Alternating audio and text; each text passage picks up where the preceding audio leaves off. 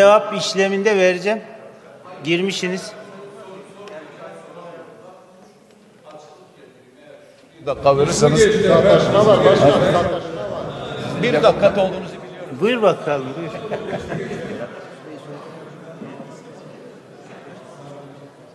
Açalım sesi. Açalım sesi Sırrı Süreyya Bey.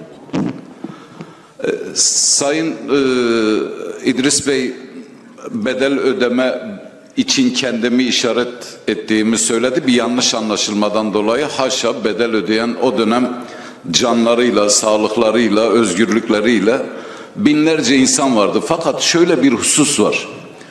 Ulucanlar cezaevi müzeye dönüştüğünde orada yatanların arasında ben ben de kaldım orada 12 Eylül döneminde ve yattığım ranzaya benim adımı gösteren bir plaket çakılmıştı. Sayın Selçuk Bey de burada. Ne hikmetse ben cezaevine girince bu son girdiğimde oradan benim adımı söktüler. Şaka yapmıyorum.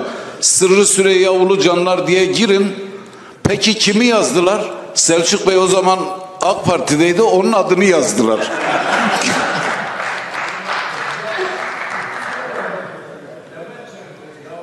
Peki açalım sesi. adını yazdılar bir de. Yani e, böyle bir cezaevinden bile adımızı hem cezaevine atmak hem de cezaevi müzesinden adını silmek e, AK Parti'ye nasip oldu. Az buz bir keramet değil. Buna bir açıklık getireyim dedim. Peki.